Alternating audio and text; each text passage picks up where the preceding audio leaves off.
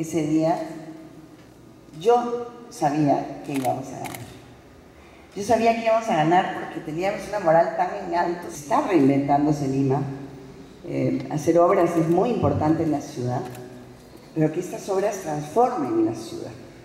Eso es la reinvención de una ciudad que está preparada, que tiene conexión vía Parque Rima, rutas nuevas de Lima, todo lo que es la vía expresa sur, el periférico, vía urbana, toda la, la, autopista La Molina Angamos, que está por ser declarada de interés, toda la conexión vial de Lima está lista. La inversión en parques zonales para infraestructura también están dando.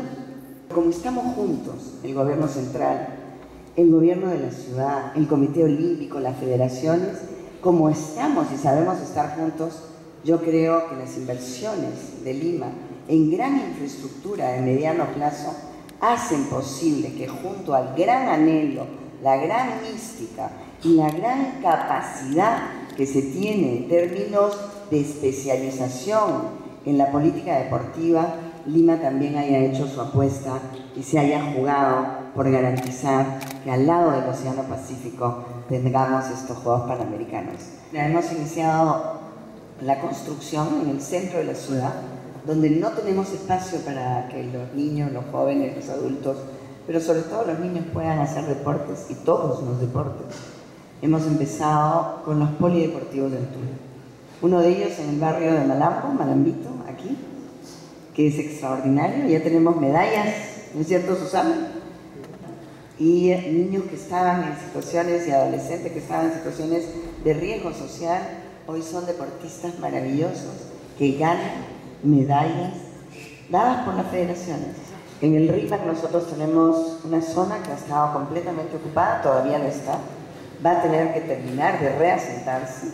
En el marco de la obra, de la gran obra Vía Parque RIMAC, nosotros estamos liberando la isla de Cantagallo. Y la isla de Cantagallo tendrá el Museo de la Ciencia y el Gran Coliseo.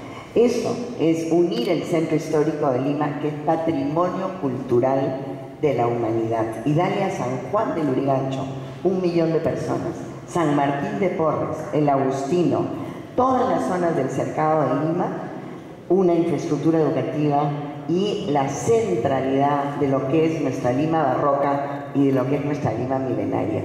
O sea que eh, todas, todas las líneas que se terminarán en el 2018 llegan y cruzan esa ciudad. Desde el túnel debajo del RIMAC, vía de evitamiento, todas, todas. Así que ese es el sitio, porque no podemos olvidarnos de que Lima tiene el centro histórico, patrimonio cultural de la humanidad más grande de América Latina. Yo ya no estaré en Lima como alcaldesa, pero voy a estar comprometida todas las 250 semanas porque me han ganado el corazón estos juegos y el deporte. Y ustedes.